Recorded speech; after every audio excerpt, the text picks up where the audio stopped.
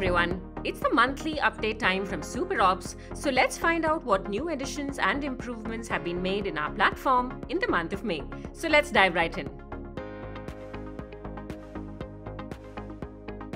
We are thrilled to announce the SuperOps integration with Guardz. Guardz empowers MSPs to secure and ensure small and growing businesses against evolving cyber threats. With this integration, we are combining the power of streamlined operations and automated threat detection and response. Do visit our marketplace page on the website to learn more.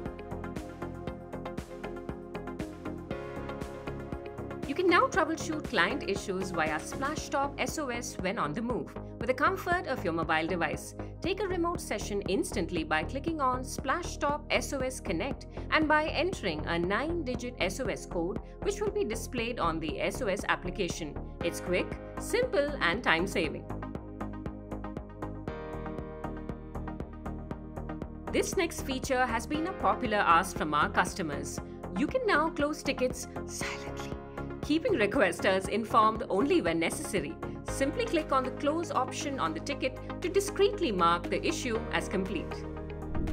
Don't miss the Profit Playbook webinar series, designed to help MSPs like you flourish in today's market. Industry experts will share strategies to boost your profits and propel your business growth. You can look forward to expert insights, live interactions, and Q&A sessions. Click on the link in the description to register for the series.